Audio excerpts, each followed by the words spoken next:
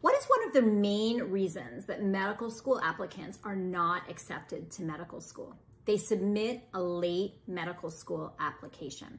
Now, let me explain why this is an issue and why you shouldn't be focusing on deadlines. You should be focusing on when application systems open. Medical school applications are reviewed by admissions committees on a rolling basis and only once the medical school application is complete.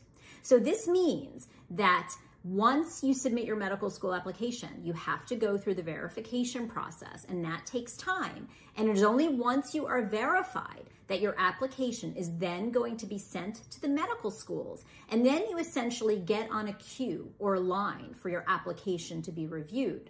So if, let's say, there are a thousand or 2,000 applications ahead of you in that line, you may not get reviewed for weeks or even months. Versus, let's say, if your application gets sent to medical schools with the first wave or with a very early wave, then you might be in the first 500 applications that that medical school receives. So you would be reviewed earlier and you are going to get earlier interviews. And we see that students who get earlier interviews tend to get earlier acceptances. And this makes the medical school application process and the medical school application year so much less stressful.